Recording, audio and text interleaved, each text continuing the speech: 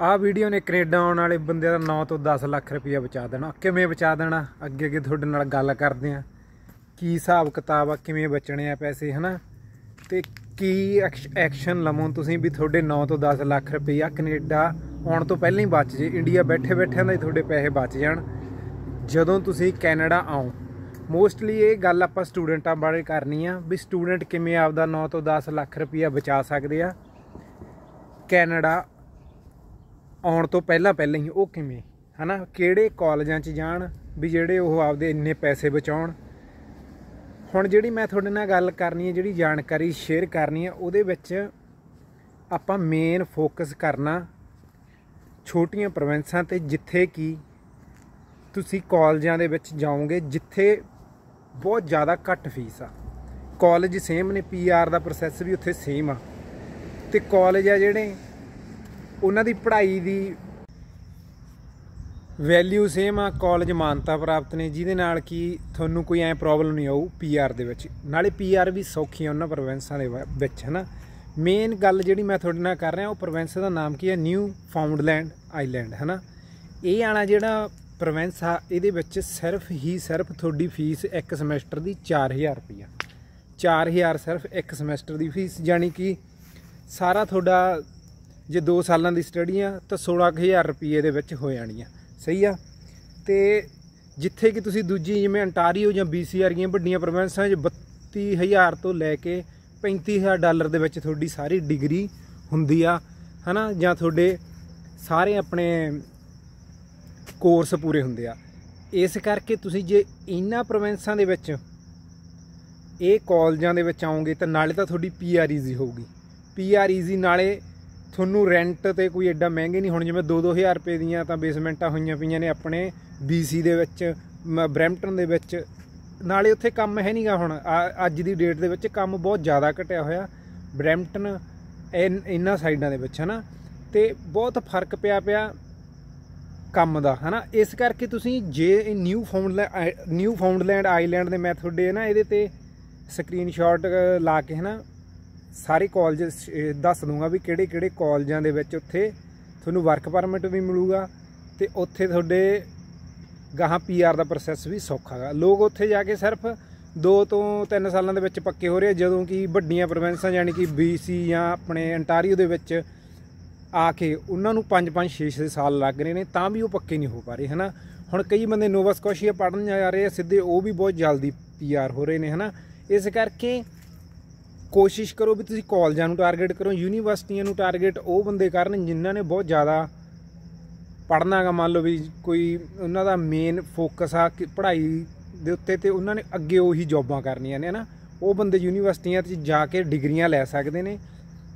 ਅਕਸਰ ਜਿਹੜੇ ਬੰਦੇ ਉਹ ਆਪਣੇ ਆਉਂਦੇ ਆ ਉਹ ਡਿਪਲੋਮਾ ਹੀ ਕਰਦੇ ਆ ਨਾ ਇਸ ਕਰਕੇ ਜਿਨ੍ਹਾਂ ਨੇ ਪੀਆਰ ਲੈਣੀ ਹੈ ਪਹਿਲਾਂ, ਜਿਨ੍ਹਾਂ ਦਾ ਫੋਕਸ ਮੇਨਲੀ ਪੀਆਰ ਦੇ ਉੱਤੇ ਆ, ਬਾਅਦ 'ਚ ਡਿਗਰੀਆਂ ਬੰਦਾ ਕਰ ਲੈਂਦਾ ਹੁੰਦਾ, ਬਾਅਦ 'ਚ ਬਹੁਤ ਸੈਟਲਮੈਂਟ ਆ ਜਾਂਦੀ ਹੁੰਦੀ ਹੈ। ਇੱਕ ਵਾਰ ਪੀਆਰ ਅੰਦਰ ਕਰੀਏ, ਫਿਰ ਉਦੋਂ ਬਾਅਦ 'ਚ ਜਿਹੜੀ ਮਰਜ਼ੀ ਡਿਗਰੀ ਕਰੋ, ਜਿਹੜਾ ਕੁਝ ਮਰਜ਼ੀ ਕਰੋ, ਤੁਹਾਡੀ ਮਰਜ਼ੀ ਹੈ ਨਾ ਇਸੇ ਕਰਕੇ ਤੁਸੀਂ ਨਿਊ ਫਾਊਂਡਲੈਂਡ ਆਈਲੈਂਡ ਦੇ ਉੱਤੇ ਜਾ ਕੇ, ਉਹਦੀ ਸਾਈਟ ਤੇ ਜਾ ਕੇ ਸਰਚ ਕਰਨਾ ਵੀ ਕਿਹੜੇ ਕਿਹੜੇ ਕਾਲਜ ਆ। ਫਿਰ ਕੈਨੇਡਾ ਦੀ ਸਾਈਟ ਤੇ ਜਾ ਕੇ ਸਰਚ ਕਰਨਾ ਵੀ ਕਿਹੜੇ ਕਿਹੜੇ ਕਾਲਜਾਂ ਨੂੰ DLI ਨੰਬਰ ਮਿਲੇ ਹੋਏ ਆ। ਹਨਾ DLI ਨੰਬਰ ਕੀ ਹੁੰਦੇ ਆ? ਵੀ ਉਹਨਾਂ ਨੂੰ ਮਾਨਤਾ ਮਿਲੀ ਹੋਈ ਹੈ ਸਰਕਾਰ ਵੱਲੋਂ ਵੀ ਵਰਕ ਪਰਮਿਟ ਮਿਲੂਗਾ ਕਿ ਨਹੀਂ ਮਿਲੂਗਾ। ਬਾਕੀ ਮੈਂ ਸਕਰੀਨਸ਼ਾਟ ਵੀ ਲਾ ਦੂੰਗਾ।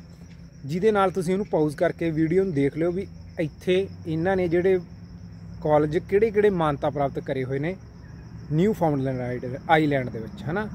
ਇਹ ਬਹੁਤ ਜ਼ਿਆਦਾ ਵਧੀਆ ਪ੍ਰੋਵਿੰਸ ਆ, ਜਿੱਥੇ ਕਿ ਤੁਹਾਨੂੰ ਕੰਮ ਵੀ ਈਜ਼ੀ ਮਿਲ ਜਾਂਦਾ ਤੇ ਤੁਹਾਡੀ ਪੀਆਰ ਵੀ ਬਹੁਤ ਈਜ਼ੀ ਹੋ ਜਾਂਦੀ ਹੈ ਹਨਾ? ਤੇ ਤੁਸੀਂ 10 ਲੱਖ ਰੁਪਏ ਵਾਂਗੂ ਬਚਾ ਜਾਂਦੇ ਹੋ, ਜੇ ਤੁਸੀਂ ਇਹਨਾਂ ਪ੍ਰੋਵਿੰਸਾਂ ਦੇ ਵਿੱਚ ਆਉਂਦੇ ਹੋ, ਹਨਾ? ਕਿਉਂਕਿ ਬਹੁਤ ਜ਼ਿਆਦਾ ਘੱਟ ਫੀਸ ਆ ਤੇ ਉਹਨਾਂ ਨੂੰ ਲੋੜ ਵੀ ਆ ਬੰਦਿਆਂ ਦੀ। ਪਰ ਆਪਾਂ ਪਹੁੰਚ ਜਾ ਕਿੱਥੇ ਰਹੇ ਹਾਂ? ਜਿੱਥੇ ਆਪਾਂ ਨੂੰ ਬੱਚਿਆਂ ਨੂੰ, ਜਿੱਥੇ ਸੱਚ ਸਰਕਾਰ ਨੂੰ ਜਿੱਥੇ ਬੱਚਿਆਂ ਦੀ ਲੋੜ ਨਹੀਂ ਹੈਗੀ, ਉੱਥੇ ਆਪਾਂ ਜਾ ਰਹੇ ਹਾਂ। ਇਸ ਕਰਕੇ ਥੋੜਾ ਜਿਹਾ ਧਿਆਨ ਦਈਏ ਆਪਾਂ, ਇਹ ਸਿਰਫ ਐਂ ਨਾ ਵੀ ਨਹੀਂ, ਏਜੰਟ ਦੇ ਸਹਾਰੇ ਰਹਿ ਲਈ ਹੈ ਨਾ। ਏਜੰਟ ਕੀ ਕਰਦੇ ਆ? ਉਹਨਾਂ ਨੇ ਤਾਂ ਬ੍ਰੈਂਪਟਨ ਤੇ ਸਰੀ ਭੇਜਣਾ ਤੁਹਾਨੂੰ ਮੈਂ ਤਾਂ ਦੱਸਿਆ ਕਿਉਂਕਿ ਉਹਨਾਂ ਦਾ ਕਾਲਜਾਂ ਨਾਲ ਕਮਿਸ਼ਨ ਕਰਿਆ ਹੁੰਦਾ। ਕਮਿਸ਼ਨ ਕਰਕੇ ਉਹਨਾਂ ਨੇ ਉਹਨਾਂ ਤੋਂ ਪੈਸੇ ਲਏ ਹੁੰਦੇ ਨੇ। ਤੇ ਉਹਨਾਂ ਨੇ ਉਹੀ ਉੱਥੇ ਜਦੋਂ ਮੰਨ ਲਓ ਜਿੰਨਾ ਟਾਈਮ ਉਸ ਬੱਚਾ ਉਸ ਕਾਲਜ ਦੇ ਵਿੱਚ ਪੜ ਰਿਹਾ ਉਹ ਕਮਿਸ਼ਨ ਉਹ ਏਜੰਟ ਨੂੰ ਜਾਈ ਜਾਣਾ। ਇਸ ਕਰਕੇ ਤੁਸੀਂ ਉਹਨਾਂ ਨੂੰ ਏਜੰਟਾਂ ਨੂੰ ਜਾ ਕੇ ਐਂ ਕਹੋ ਵੀ ਅਸੀਂ ਆਹ ਵਾਲੇ ਪ੍ਰੋਵਿੰਸ 'ਚ ਜਾਣਾ। ਮੰਨ ਲਓ ਵੀ ਤੁਸੀਂ ਆਪ ਸਰਚ ਕਰੋ ਵੀ ਅਸੀਂ ਆਹ ਵਾਲੇ ਪ੍ਰੋਵਿੰਸ 'ਚ ਜਾਣਾ ਨਾ ਕਿ ਤੁਹਾਨੂੰ ਏਜੰਟ ਦੱਸੇ ਵੀ ਸ- ਤੁਸੀਂ ਕਿਹੜੇ ਪ੍ਰੋਵਿੰਸ ਦੇ ਵਿੱਚ ਜਾਣਾ ਹਨਾ? ਤੇ ਉਹਨਾਂ ਪ੍ਰੋਵਿੰਸਾਂ 'ਚ ਜਾਓਗੇ ਤਾਂ ਲਾਈਫ ਬਹੁਤ ਈਜ਼ੀ ਹੋ ਜੂਗੀ। ਜੇ ਤੁਸੀਂ BC ਤੇ ਸਰੀ ਵਾਲੇ ਪਾਸੇ ਨੂੰ ਗਏ ਜਾਂ ਫਿਰ ਤੁਸੀਂ ਅ, ਬਰੈਂਪਟਨ ਵਾਲੇ ਪਾਸੇ ਨੂੰ ਗਏ ਤੁਹਾਡਾ ਇੰਨਾ ਕੁ ਕੰਮ ਖਰਾਬ ਹੋ ਜਾਣਾ ਅੱਜ ਦੀ ਡੇਟ 'ਚ, ਵੀ ਤੁਸੀਂ ਬਾਅਦ 'ਚ ਪਛਤਾਓਗੇ ਵੀ ਅਸੀਂ ਵੀਡੀਓ ਤਾਂ ਦੇਖੀ ਸੀ, ਪਰ ਉਹ ਤੇ ਕੋਈ ਐਕਸ਼ਨ ਨਹੀਂ ਕਰਿਆ। ਜੇ ਐਕਸ਼ਨ ਕਰ ਲਓਗੇ ਤਾਂ ਤੁਹਾਨੂੰ ਇੰਨਾ ਕੁ ਜ਼ਿਆਦਾ ਫਾਇਦਾ ਹੋ ਜੂ। 9 ਤੋਂ 10 ਲੱਖ ਰੁਪਏ ਤੁਸੀਂ ਘਰੇ ਬੈਠੇ ਬਚਾ ਰਹੇ ਹੋ। ਨਾਲੇ ਏਜੰਟ ਨੂੰ ਜਿਹੜੇ ਪੈਸੇ ਦੇਣੇ ਆ, ਉਹ ਉਹਦੇ ਚੋਂ ਕੱਟੇ ਜਾਣਗੇ, ਹਨਾ? ਇਸੇ ਕਰਕੇ 10 ਲੱਖ ਰੁਪਏ ਬਹੁਤ ਜ਼ਿਆਦਾ ਹੁੰਦਾ। ਆਮ ਬੰਦੇ ਨੂੰ ਜਦੋਂ, ਉਦੋਂ ਇੰਡੀਆ ਤੋਂ ਆਪਾਂ ਇਨਵੈਸਟਮੈਂਟ ਕਰਨੀ ਹੈ, ਇਸ ਕਰਕੇ ਬਹੁਤ ਜ਼ਿਆਦਾ ਫਾਇਦਾ ਤੁਹਾਨੂੰ। ਸਿਰਫ 4 ਹੀ ਸਮੈਸਟਰ ਆ, ਜਾਣੀ 6 ਮਹੀਨਿਆਂ ਦੀ ਫੀਸ ਇੰਨੀ ਜ਼ਿਆਦਾ ਗਈ। ਤੇ ਤੁਸੀਂ ਇਸ ਕਰਕੇ ਕੋਸ਼ਿਸ਼ ਕਰੋ ਵੀ ਉਹਨਾਂ ਸਿਟੀਆਂ ਦੇ ਵਿੱਚ ਜਾਓ, ਜਿੱਥੇ ਤੁਹਾਨੂੰ ਕੰਮ ਵੀ ਮਿਲੂਗਾ, ਉੱਥੇ ਤੁਹਾਨੂੰ ਸਾਲ ਜਾਂ ਡੇਢ ਸਾਲ ਦੇ ਵਿੱਚ ਵਿੱਚ ਪੀਆਰ ਪੱਕੀ ਆ ਤੁਹਾਡੀ, ਹਨਾ? ਉੱਥੇ ਉਹਨਾਂ ਨੇ ਨੌਕ ਵੀ ਏਡੇ ਕੋਈ ਔਖੇ ਨਹੀਂ ਹੈਗੇ ਉੱਥੇ, ਕਿਉਂਕਿ ਉੱਥੇ ਕੰਪੀਟੀਸ਼ਨ ਘੱਟ ਨੌਕ ਲੈਣੇ ਵੀ ਏਡੇ, ਨੌਕ ਲੈਵਲ ਦੀ ਜੌਬ ਲੈਣੀ ਵੀ ਏਡੀ ਔਖੀ ਨਹੀਂ ਹੈਗੀ। ਤਾਂ ਕੋਸ਼ਿਸ਼ ਕਰੋ ਵੀ ਤੁਸੀਂ ਇਹਨਾਂ ਪ੍ਰੋਵਿੰਸਾਂ ਦੇ ਵਿੱਚ ਸਿੱਧੀ ਹੋਈ ਆਪਦੀ ਆ ਕੇ ਪੜ੍ਹਾਈ ਸ਼ੁਰੂ ਕਰੋ। ਕਿਉਂਕਿ ਬਹੁਤ, ਬਾਕੀ ਬੱਚੇ ਬਹੁਤ ਔਖੇ ਹੋ ਰਹੇ ਨੇ, ਜਿਹੜੇ ਇੰਨਾ ਵੱਡੀਆਂ ਪ੍ਰੋਵਿੰਸਾਂ ਦੇ ਵਿੱਚ ਆ ਰਹੇ ਨੇ, ਉਹਨਾਂ ਨੂੰ ਤਾਂ ਪੀਆਰ ਇੰਨੀ ਸੌਖੀ ਲੱਗ ਰਹੀ ਆ ਵੀ ਉਹਨ ਚੁਟਕੀ ਮਾਰ ਤੇ ਪੀਆਰ ਹੋ ਰਹੇ ਨੇ ਨਿਊ ਫਾਊਂਡਲੈਂਡ ਨੋਵਾ ਸਕੋਸ਼ੀਆ ਜਾਨੀ ਐਟਲਾਂਟਿਕ ਪ੍ਰੋਵਿੰਸ ਤੇ ਅਲਬਰਟਾ ਦੇ ਰੂ, ਜਿਵੇਂ ਕਿ ਨਿਊ ਫਾਊਂਡਲੈਂਡ ਆਈਲੈਂਡ ਨੂੰ ਪਹਿਲਾਂ ਟਾਰਗੇਟ ਕਰੋ, ਫਿਰ ਤੁਸੀਂ ਅਲਬਰਟਾ ਨੂੰ ਟਾਰਗੇਟ ਕਰੋ, ਜੇ ਹੋ ਸਕਦਾ ਨਿਊ ਬ੍ਰਾਂਸਵਿਕ ਨੂੰ ਵੀ ਟਾਰਗੇਟ ਕਰੋ, ਇਸ ਕਰਕੇ ਆਪਦਾ ਟਾਰਗੇਟ ਬਣਾ ਕੇ ਆਓ, ਮਿੱਤਰੋ, ਐਵੇਂ ਬੇਵ ਬੇਅਕਲਿਆਂ ਵਾਂਗੂ ਹਨਾ, ਮੰਨ ਲਓ ਵੀ ਏਜੰਟ ਨੂੰ ਪੈਸੇ ਦਿੱਤੇ ਤੇ ਸਿੱਧਾ ਆਉਣ ਦਾ ਕੋਈ ਫਾਇਦਾ ਨਹੀਂ। ਇਹ ਇੱਥੇ ਆ ਕੇ ਨਹੀਂ ਤੁਹਾਨੂੰ ਬਹੁਤ ਜ਼ਿਆਦਾ ਆਪਦਾ ਸਟਰਗਲ ਕਰਨੀ ਪਊ, ਨਹੀਂ ਤੁਹਾਡੀ ਸਟਰਗਲ ਬਹੁਤ ਜ਼ਿਆਦਾ ਘਟ ਜੂਗੀ ਜੇ ਤੁਸੀਂ ਛੋਟੀਆਂ ਪ੍ਰੋਵਿੰਸਾਂ ਦੇ ਵਿੱਚ ਆਵੋਗੇ, ਹਨਾ। ਬਾਅਦ ਚ ਤੁਸੀਂ ਵੀਡੀਓ ਦੇਖ ਕੇ ਜੇ ਕੋਈ ਐਕਸ਼ਨ ਨਾ ਕਰਿਆ, ਫਿਰ ਤੁਸੀਂ ਕਹੋਗੇ ਸਾਨੂੰ ਪਤਾ ਤਾਂ ਲੱਗ ਗਿਆ ਸੀ, ਪਰ ਅਸੀਂ ਐਕਸ਼ਨ ਨਹੀਂ ਕਰਿਆ। ਉਹ ਫਿਰ ਪਛਤਾਵੇ ਜਿਹੜਾ ਕੰਮ ਹੋ ਜਾਂਦਾ ਹੁੰਦਾ। ਚਲੋ ਜੀ, ਮੇਰੀ ਵੀਡੀਓ ਤੁਹਾਨੂੰ ਕਿਵੇਂ ਲੱਗੀ? ਜੇ ਵਧੀਆ ਲੱਗੀ ਤਾਂ ਜਰੂਰ ਦੱਸਿਓ। ਇਨਫੋਰਮੇਟਿਵ ਸੀ ਜਾਂ ਤੁਹਾਡੇ ਪੈਸੇ ਬਚੇ, ਤੇ ਜੇ ਬਚੇ ਤਾਂ ਵੀ ਜੇ ਬੱਚੇ ਤਾਂ ਵੀ ਕਮੈਂਟ ਕਰ ਦਿਓ, ਦੂ- ਅਗਲੇ ਸਾਲ ਜਾ ਕੇ ਕਰ ਦਿਓ ਭਾਵੇਂ ਦੀ।